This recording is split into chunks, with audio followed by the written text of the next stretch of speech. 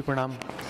Uh, in Shlok 32 of Mahalla 9, Guru Tegh Bahadur Ji is saying, uh, says Nanak, vibrate and meditate on Lord, and He shall be your help and support in the end.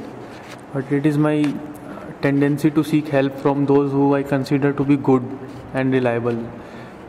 So I just want to see the truth of what Guru Tegh Bahadur is saying so that I do not seek help from others because when I seek help from others it usually spoils or strains my relationship and help does not come my way. So how can I see that the only help would be coming from the Lord only?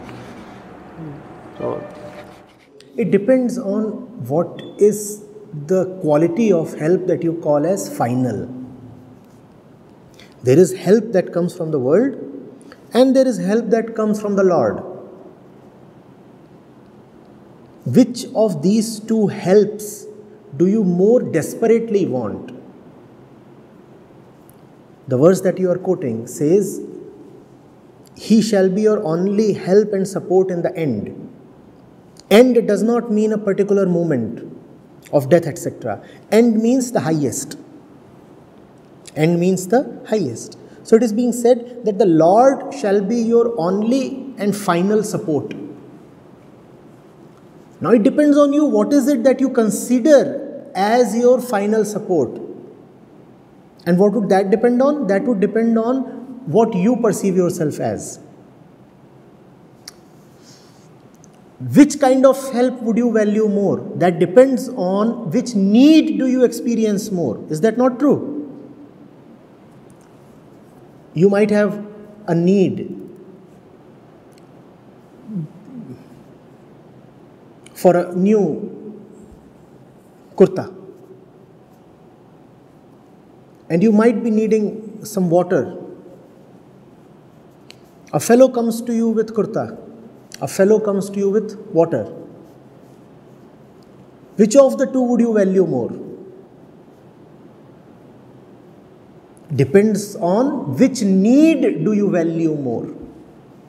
If you value the need for kurta more, then you would be very forthcoming in thanking the one who is bringing the kurta to you. If you feel your thirst deeply, then you will profusely thank the one who is bringing water to you. So there is something that the world brings to you, and something that the Lord brings to you. You find out which one is your greater need. Acharya, my need is in understanding what is going on with me in my life in terms of understanding myself and probably what you meant by the highest. So, there also, I do not see the Lord as such, and I do not know where the help would come from. So, when you say you are looking at your life your need is to understand your life. Essentially, you will understand what is it that you lack. Otherwise, there is no need to understand life. Even the need to understand life arises from a discomfort with life, experiencing that there is something odd in life. Hmm? So, there is an internal need, and therefore, one gathers self knowledge. What is it that you are needful of? That is to be found out. What is it that you are really needful of? And that which you are really needful of, is it being brought to you by the world or the Lord?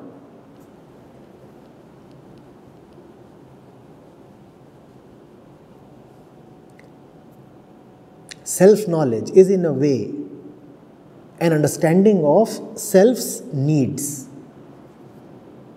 Some of those needs can surely be fulfilled by the world. world. But are they your deepest needs? No. Then what are your deepest needs? And who will meet those needs?